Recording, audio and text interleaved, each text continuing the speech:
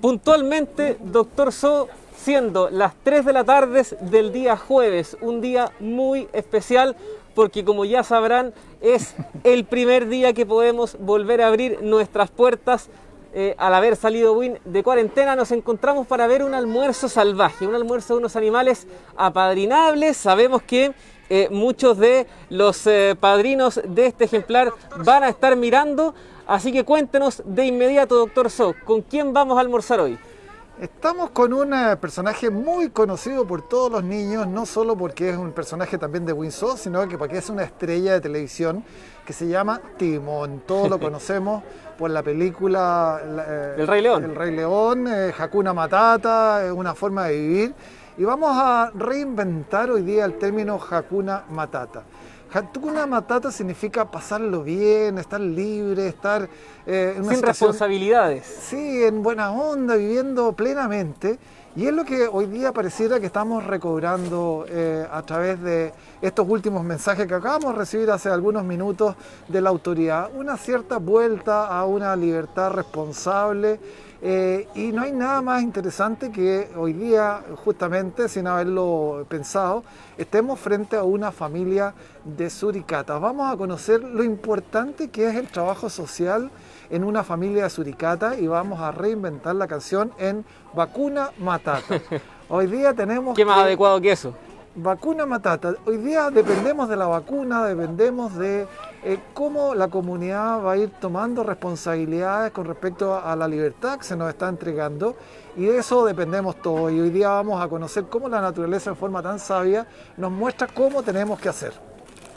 Oye, Ignacio, em, bueno, quiero que partamos eh, quizás comentando, eh, porque esto es un almuerzo, eh, podemos hacer un acercamiento y mostrar qué es lo que le vas a dar de comer a Timón y a toda su familia hoy día. Como decía el amigo de Timón, que son sabrosos. Viscosos pero sabrosos. viscosos pero sabrosos.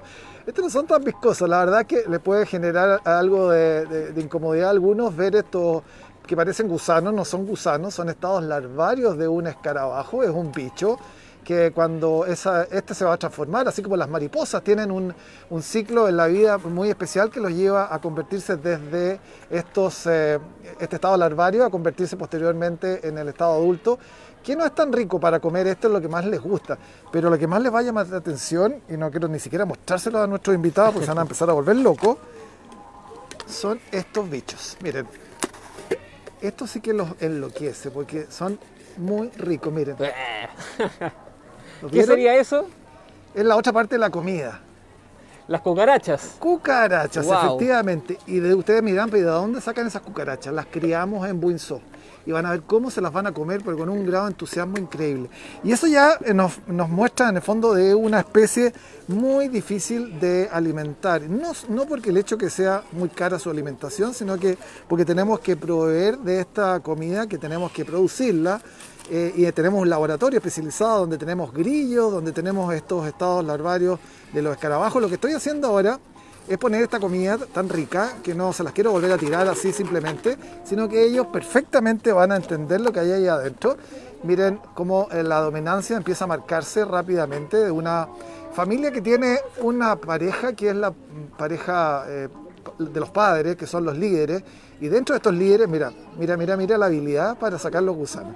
Y se fijan, el resto de la familia no está eh, compitiendo con él, saben que hay un liderazgo que está muy marcado por, eh, por el padre la madre. La, madre es la que definitivamente eh, decide todo. Bueno, dice que si se lo estamos dando más fácil, dice que él, podría conseguirlo más fácil.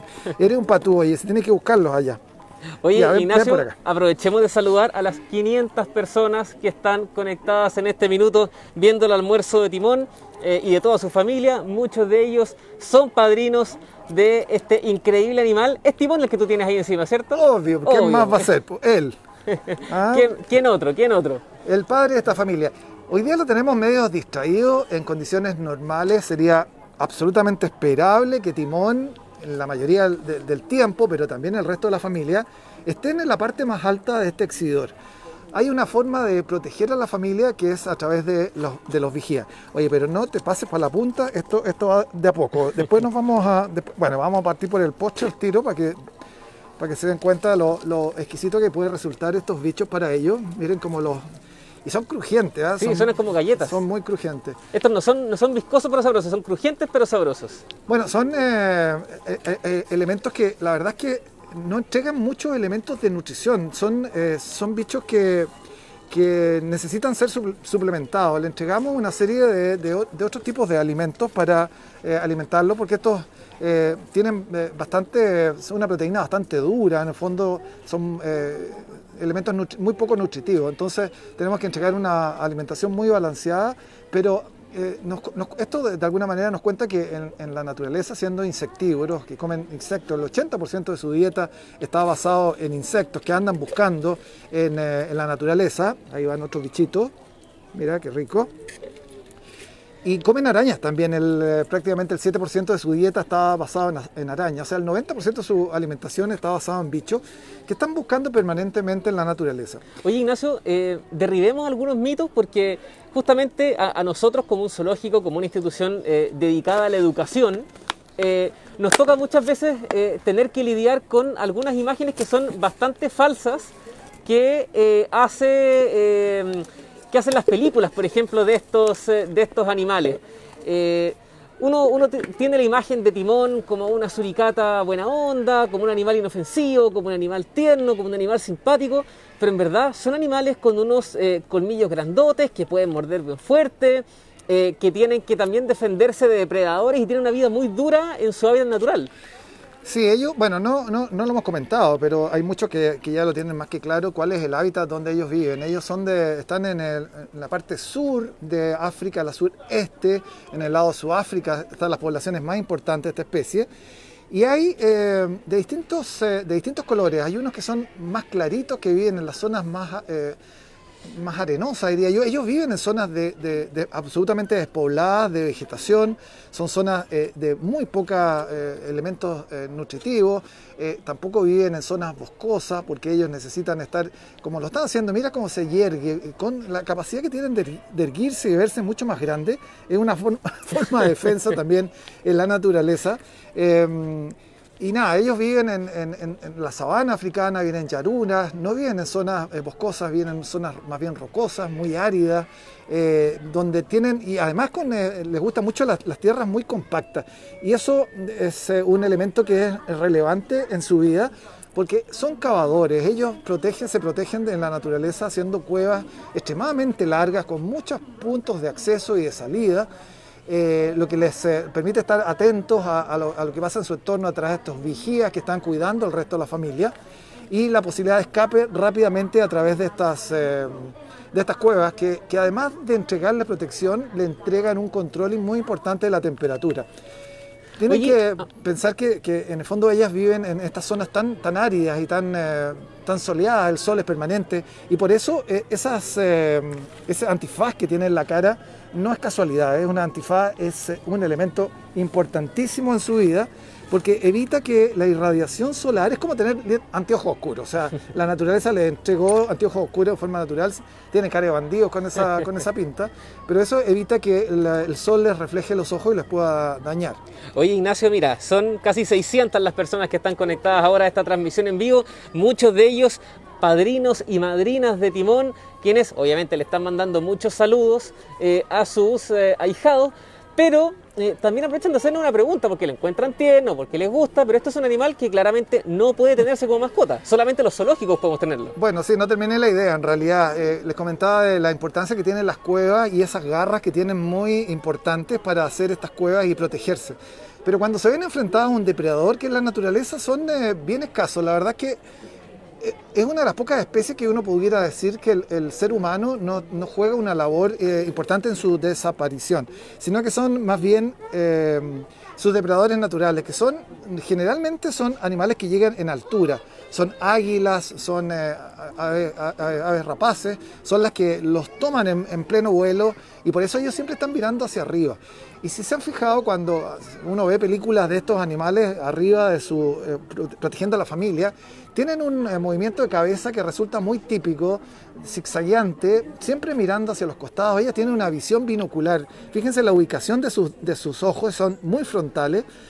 Pero ellos tienen una visión lateral muy interesante. Entonces están siempre muy atentos a su entorno y no suelen tener depredadores como leones o ese tipo de animales, sí, los zorros y algunos animales menores eh, de ese tipo. Pero tienen unos dientes muy mortíferos, ellos también pueden capturar y es parte de su dieta eh, comer algunos roedores eh, pequeños, algunas lagartijas, algunas serpientes que también forman parte de su dieta, porque como tú bien dices, se defienden muy bien y no son tan tan buena, buena onda cuando se trata de defender la integridad de la familia. Oye, aprovechamos de responder algunas de las preguntas que nos hacen aquí en el chat, como la, que, la pregunta que nos hace Carolina Vergara González, que nos pregunta, ¿cuántas crías pueden llegar a tener? ¿Cómo es la reproducción de esta especie? Bueno, ellos pueden reproducir, y eso también es bien, bien, bien especial, porque en, eh, donde ellos viven, en, en, eh, Sudáfrica, en, la sabana, hay periodos muy de, muchas, eh, muy, muy de secano, donde la alimentación se hace extremadamente difícil. En cambio, la época lluviosa, eh, cuando los, pastos se reproducen eh, con, más facilidad y los bichos también son más fáciles de encontrar, que es su dieta, es la época en que ellos se reproducen. Pueden reproducir un par de veces en el año, su gestación es bastante corta, tienen 70 días, o sea, un poquito más de dos meses de gestación, y pueden tener entre 2 y 5 crías. El promedio son 3, 4. Acá hemos tenido varias veces crías y han sido generalmente dos o tres, algunas incluso son, eh, pueden ser gemelos o mellizos. Eh, su reproducción es bastante rápida, pero se demoran bastante en llegar a la etapa adulta. Son antes de los dos años, a pesar que ya tienen toda la facha de un adulto, todavía no, no reproducen. Y eso también ah, eh, nos, conversa de cómo es una familia eh, las colonias son muy importantes, ellos viven en grandes colonias de hasta 40, 50 ejemplares, pero las familias son más pequeñas, son hasta 15 individuos, siempre lideradas por un macho y una hembra. La hembra eh, es la que manda sin duda a, de todo el movimiento de la familia, pero esas familias se juntan formando estas colonias y estas colonias son las que de alguna manera les sirve para protegerse al tener estos, eh, estos animales centinelas que están vigilando y cuidando el resto de la familia permanentemente. Y lo que es más increíble es que cuando se cansa el vigía, hay un relevo, hay un, otro animal que lo reemplaza, pero hay un aviso, hay un, un chirrido, un sonido que ellos reconocen rápidamente para avisar este cambio de equipo. Oye, em, mira, siempre hay una pregunta en el chat que busca pillar a Doctor So. Vamos a, ver. si es esta o no. Eh, nos pregunta Cristóbal Fernando Cabello Garrido. ¿Es verdad que las suricatas son inmunes al veneno de algunas serpientes? Lo que yo he escuchado es, eh, más que de serpiente, que es probable que sí sea, lo son para algunos escorpiones. Los escorpiones son eh, insectos, son, eh, están dentro de la familia de artrópodos y son parte también importante de su dieta. Entonces son bichos que, pueden encontrar con bastante facilidad al excavar en tierra y efectivamente da la impresión de que son bastante poco sensibles a ese tipo de, de tóxicos. Perfecto. Oye, otra pregunta más. Mira, aquí Alipuso Chileno nos dice, ¿Cómo diferenciamos, qué buena pregunta, cómo diferenciamos una suricata macho de una hembra? Son prácticamente iguales. El macho es un poquito más grande, son animales igual, bastante livianos, pesan alrededor de 700 gramos. Y aquí hay un, tema que no es menor. Hay mucha gente que viene al zoológico y cuando ve la suricata dice, uy, siempre me habría imaginado que son mucho más grandes. La verdad que es un animalito de unos 30 centímetros de alto, no tiene más que eso. 700 eh, gramos, es un animal bastante liviano. Lo que pasa es que en las películas donde hay, han habido hasta realities de, de. Y, siempre las cámaras son un poco lo que estamos haciendo nosotros, son de muy primer plano, muy pegadas las cámaras al piso y nos hace imaginar que son animales bastante más grandes de lo que son. Para defenderse, aparte de tener esta actitud erguida y la cola, si se fijan, siempre apoyando la pata, transformándose en un trípode de la cola, muy importante el apoyo, ellas se juntan mirando a su depredador y hacen todo tipo de sonidos, se ponen, erizan los, pelos de la cola. La cola es bien larga, la cola es prácticamente eh, la mitad del cuerpo, son eh, alrededor de 20-25 centímetros de, cola, que, que es una verdadera bandera. También es muy entretenido ver Oye, este es el último, así que lo siento. ¿Ah? Mira. ¿Para quién? ¿Quién quiere? Ya. Todo tuyo, toma. Timón, te lo mandaron tus ah, ahijados. Tus padrinos, más bien. Oye, Ignacio, mira, vamos a aprovechar de responder. Perdona, la cola, la cola es muy interesante porque la cola es una verdadera bandera que va siempre erguida cuando ellos van metiéndose por el medio de la, de la escasa vegetación donde ellos viven. Eh, va a, el, líder, la madre generalmente adelante y con esta cola erguida va avisándole al resto de la familia por dónde va eh, la colonia. Perfecto. Oye, mira, acá hay dos preguntas que nos están haciendo. La primera la respondo yo y la segunda te la dejo a ti. Nos están preguntando harto si es que efectivamente ya estamos abiertos y cómo se hace para venir. Es súper sencillo. Recuerden que sí, estamos abiertos. Win está en fase 2 Así que podemos abrir de lunes a viernes. ¿Cómo tienen que hacerlo para venir? Ingresen a winso.cl y compren sus entradas de forma online. Recuerden que no hay venta eh, presencial en el parque, las boleterías están cerradas. Así que compren su entrada online. En el mismo proceso de compra, eligen el día que van a venir, la hora en la que van a llegar y con eso ya está todo listo. Justamente por estos bloques horarios que tenemos de ingreso, nos permite eh, organizar mejor a la gente y evitar aglomeraciones, pero recuerden, los bloques de ingreso son de media hora, significa que tengan media hora para recorrer todo el zoológico, así que por internet revisen todos los detalles en nuestra página web y nos pueden venir a visitar. Y justamente Ignacio, la otra pregunta que te iba a hacer y que nos están preguntando, ¿cuánto tiempo vive una suricata ser animalitos chicos? ¿Son de vida corta, de vida larga? Bueno, la naturaleza eh, va a depender mucho de, las facilidades que tengan para alimentarse. Como digo, hay periodos ahora con el calentamiento global. Les comentaba que no es el ser humano el que las daña o las mata, a pesar de que es una especie que está considerada eh, en peligro menor. O sea, hay poblaciones muy sanas todavía de suricata Independiente de que algunos sí las matan cuando entran a las zonas de cultivo, el hombre va avanzando cada vez más en las zonas que, son, que eran habitadas solamente por animales salvajes en África, y es allí donde entran a hacer cuevas, a veces en, los sembradíos, y ahí, bueno, habrá seguramente más de alguna pelea entre el hombre y, el animal. Eh, tú me comentabas de algo. Te preguntaba por cuánto tiempo viven. ¿Perdón? ¿Cuánto tiempo viven? Ah, bueno la vida es difícil en la naturaleza. Ellas pueden vivir entre 5 y 10 años normalmente en, eh, a mano del ser humano. Viven bastante más, 15 años. La verdad que la primera eh, familia de suricatas que tenemos en eh, Buinzó llegó desde Temaiken, un importante zoológico en Buenos Aires. Y ahí ya tenemos algo así como la tercera generación. Llegaron hace ya en nuestro inicio, 20, 22 años. Y esta es una tercera generación nacida en el zoológico. Cuando ellos nacen son animales extremadamente eh, susceptibles de morir porque nacen ciegos, sin pelo. Eh, muy, muy precarios, con, unos oídos, aparte de ciegos, son sordos. Entonces se demoran un montón de días, prácticamente dos meses, en tener un desarrollo importante como para dejar la cueva donde está eh, alojada la familia y poder empezar a hacer una vida un poco normal, no hacer antes los dos meses que empiezan a hacer sus primeras cacerías, acompañando a la familia. Y lo que es más eh, interesante y habla un poco de esta, lo que les decía al inicio de, esta grabación, en el sentido de, que tenemos que cuidarnos en tiempo de pandemia y las suricatas son un muy buen ejemplo. Ellos tienen en, sus comunidades niñeros, que son los que se preocupan de estos, eh, eh, de estos púberes inmaduros que están dentro de las cuevas, que son revoltosos, porque son muy buenos para jugar, usan mucho el adiestramiento, que van adiestrando a los hijos que no son propios.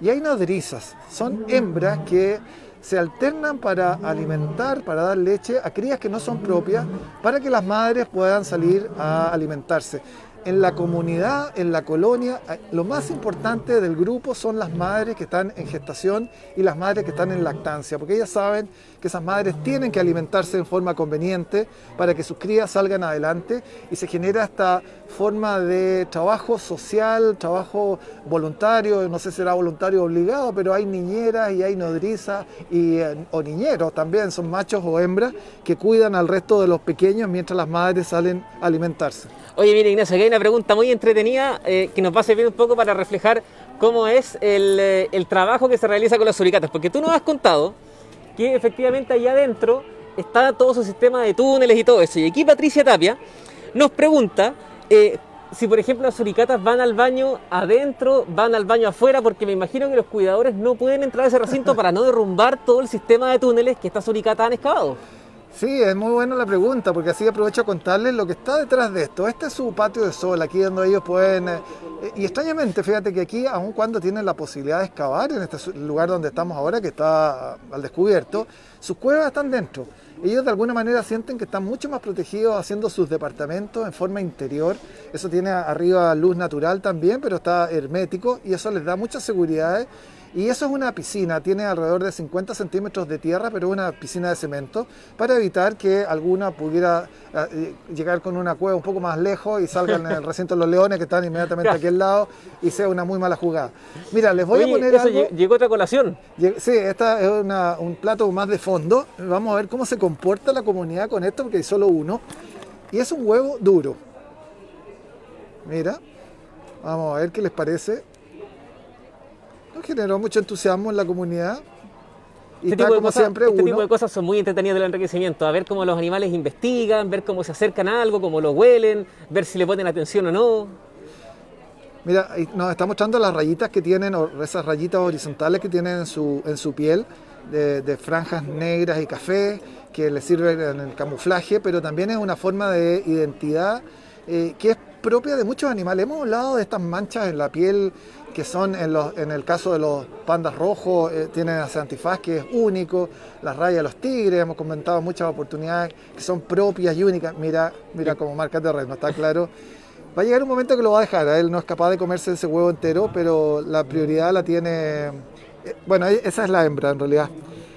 Bueno, aquí aprovechamos de responder bien la pregunta que nos han hecho en harto, a ver, Trinity Puebla también nos ha preguntado muchas veces, ¿Cómo diferenciar a timón? Porque ya, ya dijimos, ya contamos que es muy difícil por la ausencia del dimorfismo sexual, diferenciar a machos de hembras, también diferenciar eh, a, los, eh, individuos de esta, de esta comunidad, también puede ser complejo, me imagino que es el más grande, ¿cómo, cómo diferencias tú a Timón, Ignacio? Mira, la verdad que son súper parecidos, pero basta con entrar acá para saber exactamente cuál es cuál. Timón es el que está en este segundo plano, es más, más gordo, más grande. Esta es la hembra, que es la líder y por eso está dominando completamente el huevo. Nadie ha entrado a pelearle el huevo, sus hijos saben que no tienen opción porque es la que eh, naturalmente tiene que alimentarse mejor. Es la hembra, es la que reproduce, es la que tiene este papel tan relevante para eh, perpetuar la especie y perpetuar la familia. Entonces va a haber una donación muy, eh, muy interesante del resto de la familia para que sea siempre la que tenga las mejores regalías en esta, en esta familia. Pero él, la, verdad que uno lo descubre más, más que nada por la actitud. ¿ah? Es la actitud de él, que es, muy marcadora de terreno también, es más grande. Oye, eh, estaba preguntando porque justamente parece que se escucha por el audio de los micrófonos que estamos, estamos al ladito del león que está, con los rugidos marcando también su, territorio. ¿ah? Y aprovechamos entonces con eso de responder la pregunta de muchos eh, padrinos de Macerú y de Masai que también nos están preguntando cuándo vamos a mostrar a los otros eh, animales ahijados del zoológico a todos sus padrinos. Eh, empezamos durante varias semanas, vamos a estarles mostrando, haciendo lives solamente de los animales apadrinables. Así que pronto va a ser el turno de, em, de los, de los eh, o para los padrinos de la jirafa, de Kruger, eh, para los padrinos de Pacerú, para los padrinos de Basay, para los padrinos de Juancho, la verdad.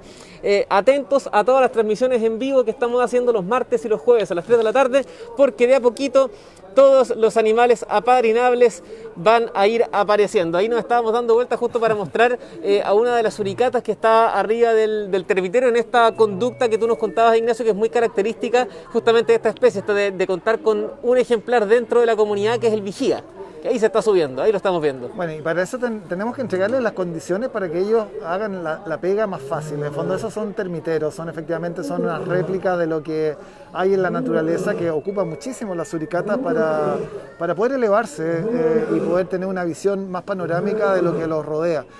Cuando hablabas del marcaje que está haciendo en este minuto eh, efectivamente eh, Macerú, también ellas marcan terreno y aquí también se nos hace un tópico muy, muy conocido, muy reconocible de cómo los animales marcan su terreno. Habíamos visto los pandas rojos hace un, par de días cómo ellos tienen una glándula anal que está en la base de la cola, donde están permanentemente eh, poniendo el trasero en el suelo para que esa glándula secrete una sustancia de un aroma muy especial que marca el terreno para evitar conflicto con extraños que lleguen a la zona mira, mira ahí. La verdad que llegó, arriba. Dice que también puede mirar desde ahí, ahí tiene altura también. Oye, eh, entonces el, marcaje con olor es muy importante. Ellos marcan, tienen una glándula anal que está permanentemente marcando todo el territorio y además salivan bastante. Tienen una saliva con un olor propio. Ellos pueden reconocer a sus, las madres pueden reconocer a sus hijos porque tienen olores propios también.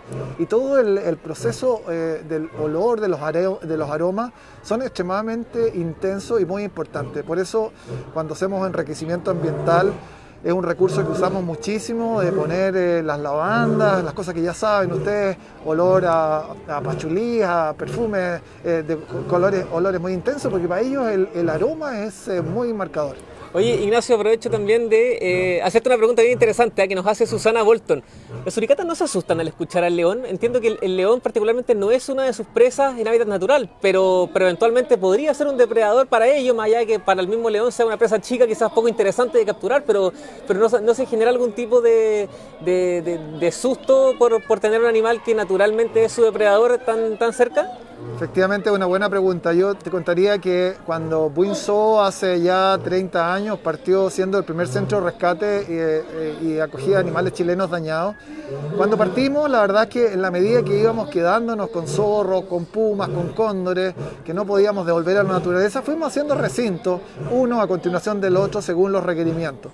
Pero ya en el año 94, cuando decidimos eh, estructurarlo esto como un eh, parque de animales protegidos, eh, decidimos rearmar toda la colección y es ahí donde empezamos a asociar todos los animales por zona geográfica. Y así tenemos al jaguar en, el acceso. Frente a los jaguares está la familia de tapire, la presa favorita de los jaguares. Y eso se va replicando en otros sectores. Tenemos los pumas, al lado están los, marinos, ahí eh, están los, eh, los búhos, las lechuzas también conformando estos espacios eh, de la zona chilena.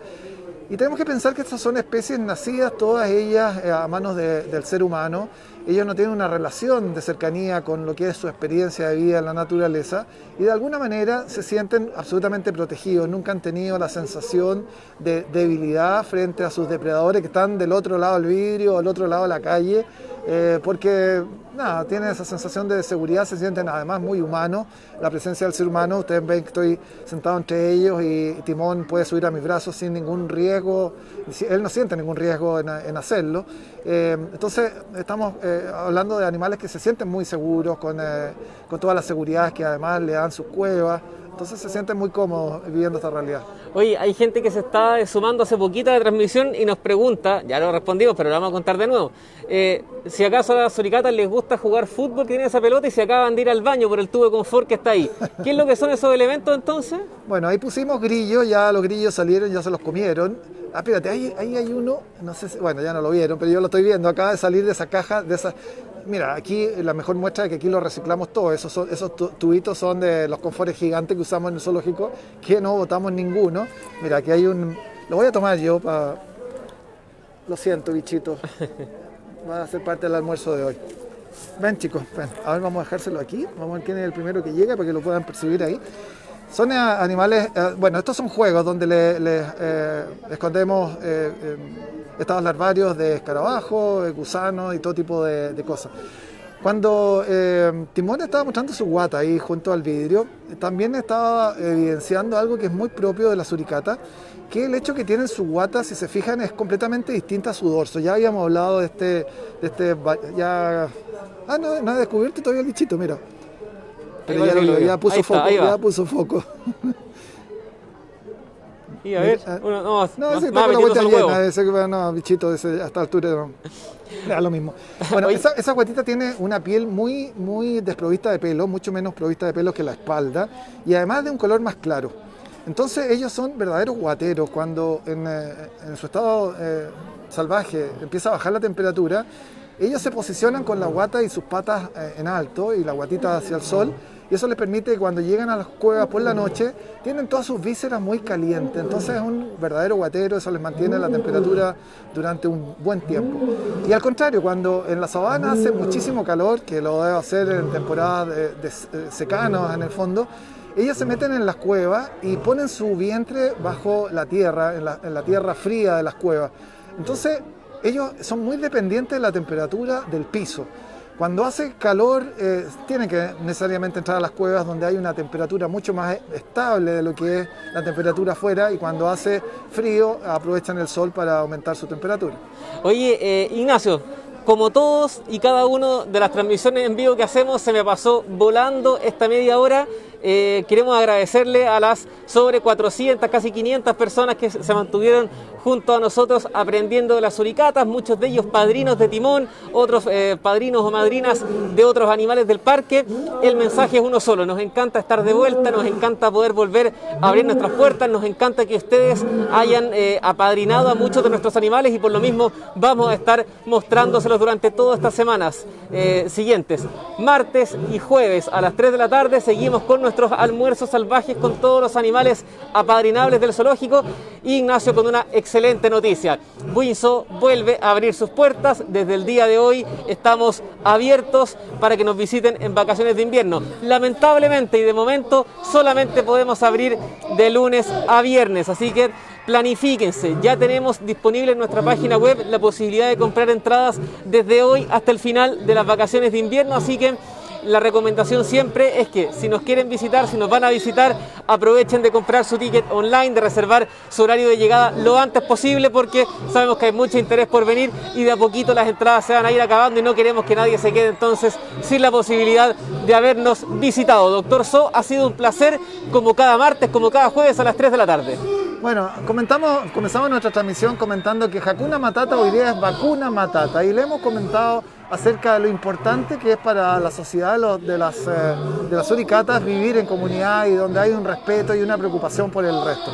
Les tengo que contar que cuando ellas están lejos de sus cuevas y hay algún depredador y hay alguna cría, los padres, los adultos, protegen con su cuerpo a sus crías para evitar que sean depredadas por estas aves una muestra de solidaridad impresionante que nos habla de, que somos especies para vivir en sociedad. Creo que el ser humano está hecho para vivir en sociedad y hoy día ha llegado el tiempo de preocuparnos por el otro.